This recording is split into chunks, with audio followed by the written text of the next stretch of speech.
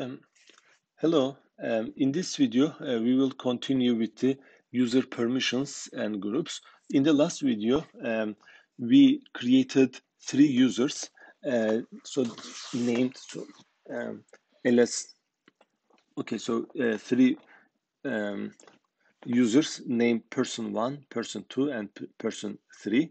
So if I just say um, ls here, and then home.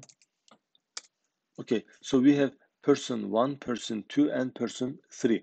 So now um, we let's let's look at the, what groups we have. So I say um, sudo uh, tail, uh, and then etc group. Okay, so password p a dollar sign dollar sign w zero rd okay so we have person one person two person three. Although they say person but uh, you, these are the group names okay? Uh, and then these are the the primary groups of the user person one person two and person three okay? Now we want to assign them. So in the real uh, scenario in real world scenario you might uh, have different groups such as marketing department uh, i don't know the finance department in a company and you want to give different uh, permissions uh, to these users. And when you need to make some changes in the group uh, um, in the so for, for a user instead of working with each user uh, one by one you uh, change the permission levels of the group.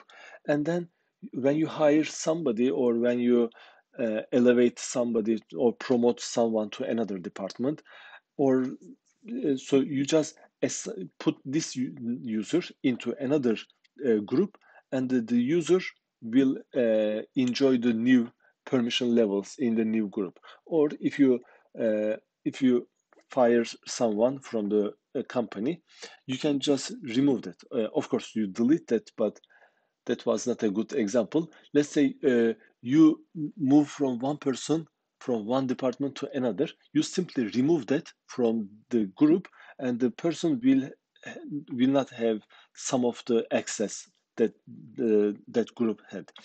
Um, so now let's create uh, another uh, group. Um, so let let me say.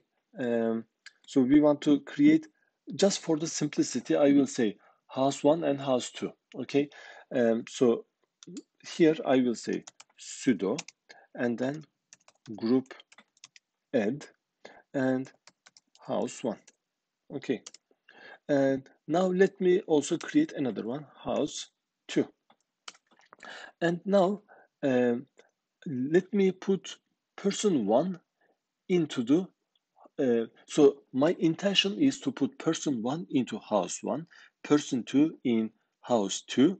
But in order to show you uh, how to remove someone from the group, so on purpose, I first I will put the person one into house two, not house one, house two, and then I will remove it from house two, and I will put the person one to uh, house one. Okay, I hope this is clear. So here I will say sudo, and then user mod, and uh, we use dash a a. So this is uh, to append so when you uh, so one person can be uh, um, in multiple groups. So let's say uh, user one is a group uh, of um, let's say um, marketing and finance and you also want to put this one to another group let's say developer group. When you put that into developer group you don't want to automatically remove it from other uh, marketing and finance groups. So you will just add another group for this user. Okay, I hope this makes sense.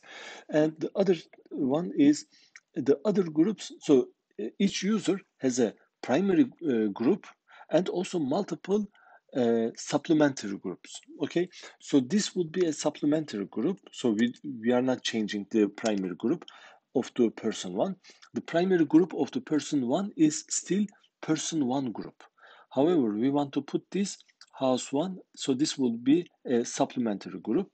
Uh, so instead of house one, first I will put that into the house two and which user person one. Okay. And now let's look at the information of the person one. Person one. So here, this is the username and this is the primary group that is still person one primary group.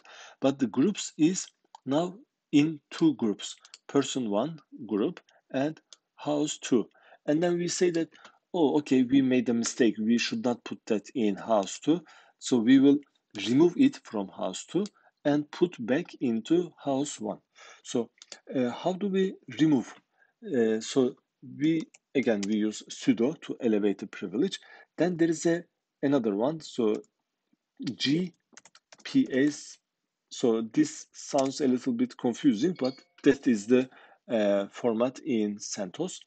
And here we use this one, so, uh, dash D, okay, and then um, person one okay and then which uh, group so where are we removing from? Uh, house 2 so we want to delete the house 2 from person one's group okay? Um,